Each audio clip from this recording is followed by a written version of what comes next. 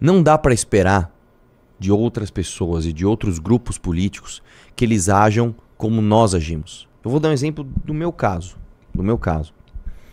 Quando, quando vazou meu áudio, tá? O Moro foi o primeiro a me condenar. Antes de todo mundo, o cara já, opa, pera lá, e falou inclusive em crime na época. Né? Doeu, cara, doeu, doeu, doeu. Você apanhar de inimigo, não dói, porque você espera isso do inimigo. Você apanhar de quem tá do teu lado, dói. E basicamente, doeu demais, cara. Doeu demais. Tá? Antes de eu descer do avião, antes de, de, eu, de eu conversar com, com, com, as pessoas que tinham acontecido, já estava sendo condenado ali. E o que, que eu fiz na época? O que, que eu fiz na época? Eu vou falar de mim aqui.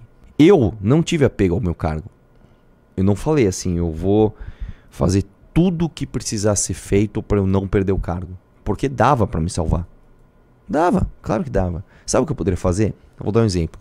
Eu poderia, basicamente, me ajoelhar ao governo estadual de São Paulo eu poderia pegar e falar assim, na época era o o Rodrigo Garcia. Ó, oh, tô com o Rodrigo Garcia aqui, estou com o PSDB, estou com o governo, me salvem. Poderia ter feito isso. Eu poderia ter virado bolsonarista. Falei, irmão, por muito tempo aqui eu bati no Bolsonaro, eu, eu estava no caminho errado. Fazer igual Holiday. Desculpa, desculpa, desculpa, me tu, desculpa, desculpa, desculpa. Tentar me salvar. A bancada bolsonarista da Assembleia era a maior de todas. Eu poderia ter feito isso. Eu falei: não, vocês vão me caçar? Que seja unânime. Que seja unânime. Eu não vou abaixar a cabeça nem para Lula, nem para Bolsonaro, nem para PSDB, nem para governo, nem para ninguém. É, é, é, é, bem decepcionante, é bem triste ver o que a gente viu. Né? De novo, é o que eu falei no vídeo de hoje, inclusive. Eu não estou surpreso. Eu não estou surpreso. E, e vou dizer mais. Por que, que o Moro está tendo essa postura né? De não, o voto é secreto, não, que para mim, a meu ver, é uma é a pior postura possível, porque é uma postura burra. É uma postura estrategicamente burra. Não vamos falar aqui do, do que é de direita, do que é esquerda, do que é certo e errado. Vamos, vamos pensar de forma maquiavélica. Vamos supor que você é um estrategista e você não tem nenhum tipo de, de, de pudor. Você faz o que é bom para você, independente do que é certo ou errado.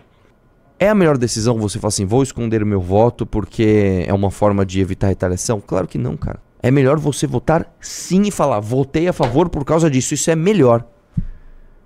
Isso é melhor do que dar essa resposta. Não, veja, não é bem assim. E aí, e aí, vem gente cobrar. É, por que, que você não votou contra o Flávio Dino? Vocês estão de brincadeira? Não, peraí, peraí. Então, bolsonarista que Passou pano pro Flávio, elogiando o Zanin. Quer vir cobrar o que agora, irmão? Que foi o que eu falei no vídeo de hoje. Vamos tacar pedra em quem não votou contra? Vamos. Vamos tacar pedra junto. Vamos tacar pedra no Moro? Vamos tacar pedra no Moro, então. Vamos tacar pedra no Flávio também? Porque ele votou a favor do Zanin. E falou que ia ser um excelente ministro, tá, tá, tá. E aí? Vamos atacar pedra no Gustavo Gayer, que falou, não, veja, veja. É melhor o Zanin do que o Dino. Agora a gente tem o Zanin e o Dino. Vamos tacar pedra nesses caras? Não, não. Aí veja bem, a gente tem que passar pano. Que moral. Que moral tem bolsonarista para vir cobrar Moro agora, irmão? Que moral tem? A gente pode. A gente pode cobrar todo mundo. Porque a gente não passa pano. O que tá errado, tá errado. Que moral vocês têm para falar alguma coisa agora? O, o Flávio Bolsonaro, quando melou a lavatoga, foi lá no. Como é? Não era Terça Livre? Era Terça Livre? Qual é o nome daquele programa que ele tinha? Ele foi fazer entrevista com o Rodrigo Constantino. Né? Aí o Rodrigo Constantino, é, veja, tem que ver, né? Porque a lava toga talvez não seja tão interessante. Aí foi lá o Alan dos Santos e o outro lá, o Ítalo, esqueci o nome dele lá, naquele programa, né? Naquela entrevista. Não, veja, a lava toga, quem interessa? Não é interessante pro país agora? Vocês querem vir cobrar quem, mano? Vocês não têm moral para cobrar ninguém. Não é vocês não têm moral para cobrar o Moro, vocês não têm moral para cobrar ninguém. Vamos cobrar aqui, vamos cobrar o Magno Malta? Vocês esperavam o quê do Magno Malta? Que tava lá na Black Friday comprando comprando produtinho barato, enquanto o, o, Flávio Dino, enquanto o Ministério do Flávio Dino tava recebendo lideranças do Comando Vermelho aqui. A maior oposição da história tava lá nos Estados Unidos. Trocando uma ideia com o ex-drag queen, que foi caçado agora. Que assim, qual o resultado prático do que eles fizeram? O cara foi caçado agora. Vocês têm alguma moral para vir cobrar qualquer um. São 15 senadores da CCJ que disseram que eram oposição. São 15. Quem ali vocês têm moral para cobrar? Eu vou, ó, para não falar que eu não vou elogiar ninguém, teve um que foi contundente. Rogério Marinho. As falas dele foram contundentes.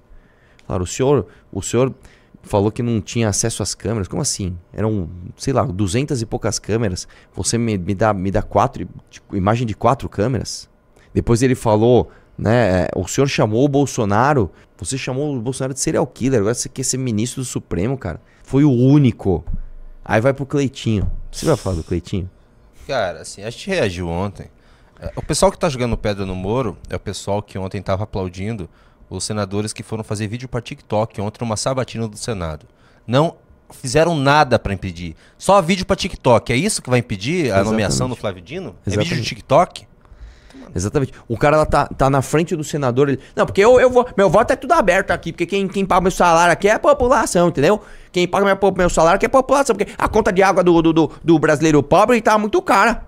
Ele termina a fala dele falando que nós aqui ganhamos 30 pau por mês, a gente paga a conta de água tranquilo. Quero ver o trabalhador me ajudar pra baixar a conta de água aqui.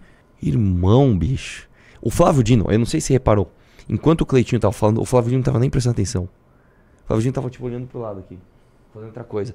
Aí o, o, o, o Cleitinho fala assim pra ele. É, como é que ele fala? É, que, qual, pra um pai pra mãe, pai pra mãe. Qual que, qual que é o patrimônio mais valioso pra um pai pra uma mãe?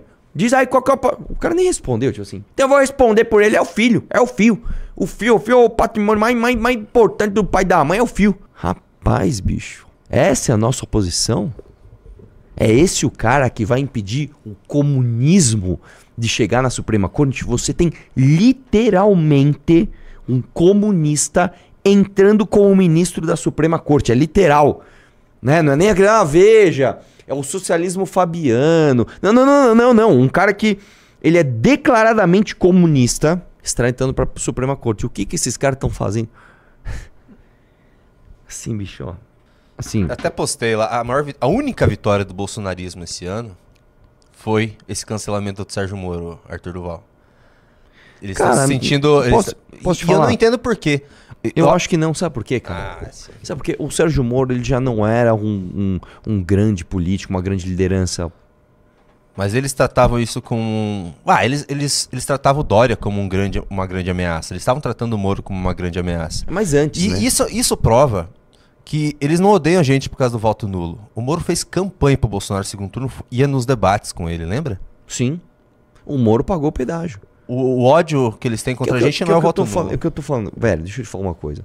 Quando você vai pagar pedágio pro bolsonarismo, ou você paga completo e você se humilha mesmo. Tipo assim, você se joga no chão. Tipo assim, eu sou o Fernando Holliday, eu quero pedir desculpas, é, porque eu sou um. Como é que ele falou? Sou um negro bem o bicha, que está sendo aceitado, né? Desculpa, Bolsonaro, desculpa direita, desculpa Brasil, desculpa sociedade, desculpa, desculpa, desculpa, desculpa.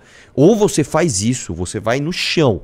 Você fala, meu, eu vou lamber o chão que você pisar. Ou não tem jeito.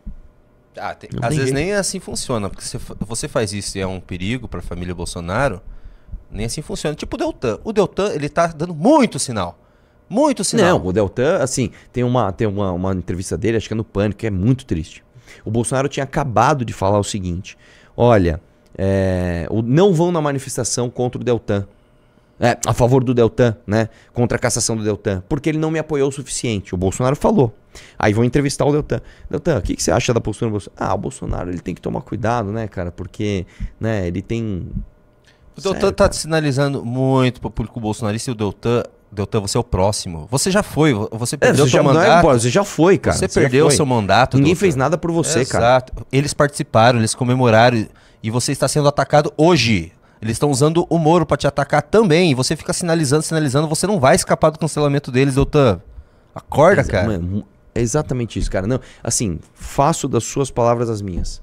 O Deltan não vai ser é, é, perdoado pelo bolsonarismo. E não é porque ele não você... sinaliza. Exatamente, ele sinaliza. O problema é que é o seguinte: ele é do clã. Ele, ele está lá dentro da mesa, ele está ceiando das mesmas é, é, refeições, ele está dividindo as mesmas dores. Não, não está. Ele é outsider, então um abraço. Um abraço. O projeto do bolsonarismo é um projeto hegemônico. E sem o sobrenome Bolsonaro, você nunca vai ter o cargo que eles têm. Põe uma coisa na tua cabeça. É um projeto hegemônico de uma família. Não tem essa de história, não tem essa de, de merecimento, não tem essa de. É, como é que se fala? É, é, é, legitimidade. Legitimidade é que o Bolsonaro apontar o dedo e é, igual, é igualzinho no PT, irmão. Ninguém pode ser maior que o Lula. Ninguém pode ser maior que a família Bolsonaro. É igualzinho. E vocês ficam pagando pedágio. É, é, é, cara, eu vou te falar, é tão bom a gente não pagar pedágio, irmão. É tão bom chegar aqui e falar assim, mano, precisa bater em quem? Vamos tacar pedra em quem precisar. É tão bom poder fazer isso, cara. É tão maravilhoso você falar, meu irmão, eu vou bater em tudo que está errado e ponto final. É tão bom ser assim, bicho. Eu vou te falar, cara, olha. Deve ser triste, irmão. Deve ser triste você ter tanto apego a, a cargo, essas coisas que você tem que ficar passando pano para Bolsonaro. Você tem que ficar. E nem só isso, o Deltan perdeu o cargo já, cara. O Deltan está inelegível, cara. Ninguém fez nada por ele, o cara ainda continua sinalizando. É, quando que a gente vai aprender? Quando que a gente vai aprender? Tá aí, ó, tá aí o resultado. Nós temos Zanin e Flávio Dino no STF, com a maior oposição da história. A maior oposição da história. É a pior de todas. Sabe, ó, dos últimos 30 anos, sabe quem soube fazer oposição? PT. O PT fez oposição ao PSDB no início dos anos 90. Só. Da redemocratização até hoje, nós não tivemos oposição. Ah, mas o impeachment. O impeachment foi um movimento que veio de fato de baixo para cima das pessoas exigindo. O MBL foi lá fazer a Operação Minerva, virar voto de deputado do Centrão para ocorrer o impeachment. E sabe o que a oposição na época fez, que era o Aécio Neves? Não, não, não, deixa quieto isso aí. Deixa de uma sangrar até 2018 que a gente ganha na urna. A MBL foi lá e forçou a parada. Então, de oposição, nós entendemos, cara. E olha que vocês estão competindo com uma oposição que era contra o impeachment, cara. Olha com quem vocês estão competindo, vocês estão conseguindo perder. Vocês estão conseguindo perder. Cara do céu, bicho. Nós estamos fodidos. Vou trazer as notícias boas aqui para vocês. Vamos lá. Notícia boa número 1. Um. Tá vendo esse link dos novos valores?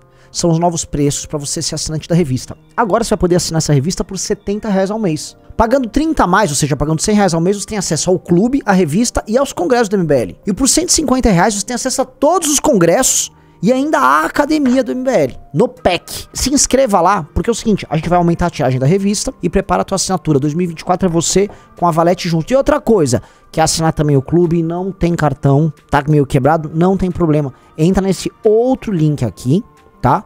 E aí nós vamos ajudar a você entrar no clube. Literalmente é você no clube. Vamos dar um jeito de você fazer parte do maior clube de notícias e informações políticas do Brasil.